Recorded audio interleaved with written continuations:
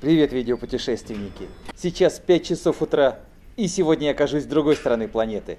Присоединяйтесь, будет интересно.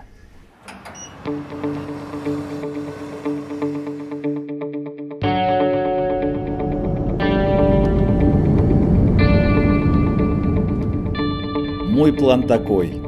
Долететь до Мадрида и после короткой остановки через 11 часов полета сегодня же вечером оказаться в Панаме.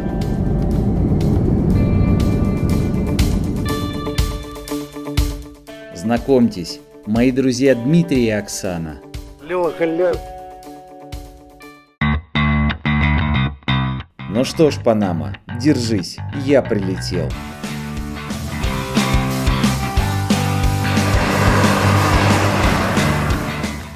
Попробуем понять, что такое другая страна света. Едем в настоящие экваториальные джунгли. Здесь они называются сельва. Rainforest, да? Это оно. Лес настолько дремучий, что меня совершенно не удивляет, как в тени деревьев скрываются от мира целые племена.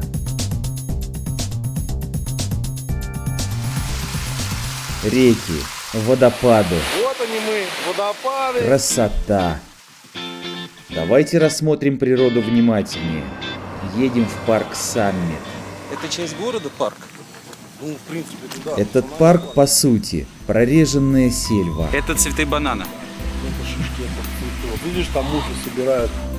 Это цветет, это отцвело. Здесь представлены только местные растения и животные, а они удивительно разнообразные. Это пиба. Не-не-не, это папиры, смотри, думаю, это на листочек, да.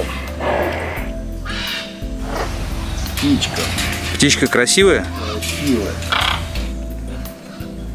Сейчас придет. В местных лесах живут разные животные. Красивые, страшные, злые, необычные. Дим, это ты или они? Они так это, классно люблю. Здесь живет второй в мире по величине орел Гарпия. Когда он злится, ну, вот так вот делает. Ну и, конечно, крокодилы. Ну, ласки такие задние. Не, он глазом, он смотрит так, это щель, крокодил вена.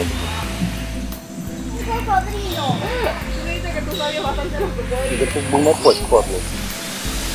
Леха, мы с тобой ходили 4 часа в таком маленьком квадрате. Следующая цель – деревня индейцев. Куда без них? Поселок расположен в местном заповеднике. Привет, красавец, Вижу, вижу, вижу. Давай выходи. Здрасте, здрасте. Смотри, черепаха. А, это народный инструмент. Ну, это живая была черепаха. Понятно, что деревня заточена под туристов. Однако даже она дает представление об образе жизни индейцев, которые они сохранили на протяжении столетий.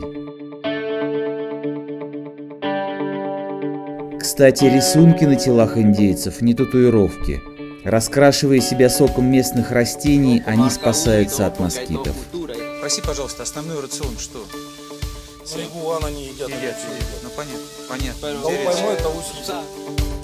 Мне вот эти нравятся. Вот говорят? Да, вот эти, эти говорящие. Как не здорово с индейцами, но нам пора двигаться дальше. 6 утра. Тихий океан. И сегодня же мы окажемся на берегу Атлантики.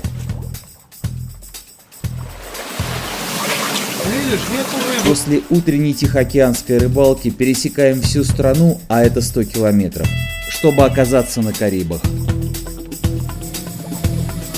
Заодно увидим, что такое малоэтажная Панама.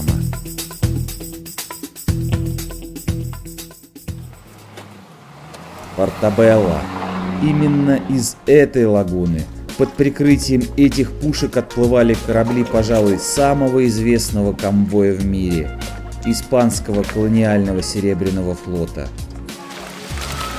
В принципе, переход только три месяца в году Почему? через Тихий океан. А дальше шторма. Это не местный флот. Нет, нет, нет, нет. Я говорю, это те, кто дошли и либо стали на ремонт, ждут ремонта, либо денег нет, здесь просто стоят. Ну, по-разному. Вот это тоже торговые палаты были. Ну, того времени. Вот гал. Гал. Да. Торговые палаты. Сюда привозили все груза. Здесь они растамаживались. Ну, в те времена. Недалеко от крепости историческая церковь с особенно почитаемым здесь черным Иисусом. Устали? Поехали отдохнем. Держим путь на север, на красивейший архипелаг островов Сан-Блас. Продвигаемся через знаменитый лес Дарьен. Именно тут плохие парни готовят кокаин. На весь мир. Лес настолько дикий и дремучий, что здесь единственный раз за 48 тысяч километров прерывается панамериканское шоссе. У меня чувак, у меня там борода. Она и так не загорит, блин. Из почти 400 островов архипелага Сан-Блас обитаемо 50. Остальные только для туризма. Вглядываясь в лица местных индейцев, начинаешь верить в теорию.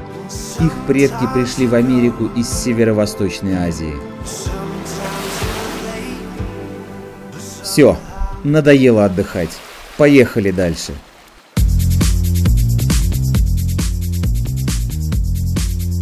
Следующая цель – уникальное место – кратер доисторического вулкана, в котором вырос целый городок – Эльвая де Кратер вулкана. 600 метров над уровнем моря. Здесь на 10 градусов прохладнее, чем на побережье. Именно это делает вулкан столь популярным среди американских пенсионеров. Здесь уже как бы страна белых. Сосны. Как малах. За 7 дней удалось проехать почти всю Панаму. Но история на этом не заканчивается. Следующее видео «Кто и как живет в Панаме». Спасибо, что были со мной. До скорой встречи.